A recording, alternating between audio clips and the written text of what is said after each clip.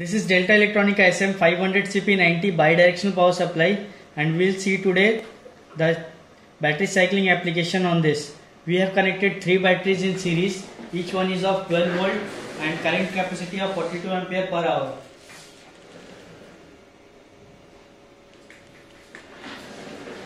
We have connected a power analyzer to it to the input of the power supply. Now the battery's charging voltage is 40, 40, 40 we have set to 40 volt. So now the battery battery is getting charged at we have set the source current to 22.3 ampere and sink current to 12 ampere. So now the battery is getting charged at the rate of 22.3 ampere.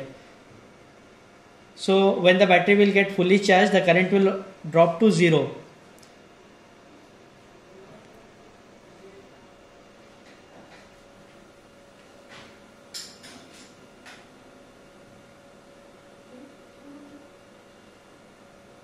now if we want to discharge the battery we have to decrease this voltage to the to the level to which we want to get the battery discharged.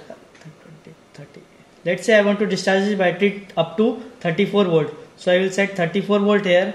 Now you can see that the power has changed to minus. Now the battery is getting discharged at the rate of 12 ampere so the battery's voltage will slowly decrease to 34 volt and it will stop at 34 volt. Now you can see the power at which it is discharging is 427 watt and you can see the input power now it's 250 watt. So 425 watt it is taking and it is feeding back to the grid 250 watt.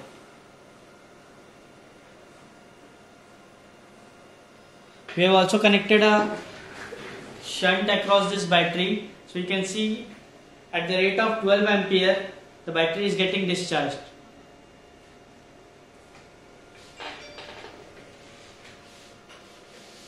You can see that slowly the battery is getting discharged. So again if if we want to charge the battery let's say so we'll increase the voltage to the level at which we want to charge so when we increase this voltage to the charging voltage that is 40 40 or 41 volt. So now you can see the now the battery is getting charged at the rate of 22 ampere. Slowly it will reach to 41 volt and the current will drop accordingly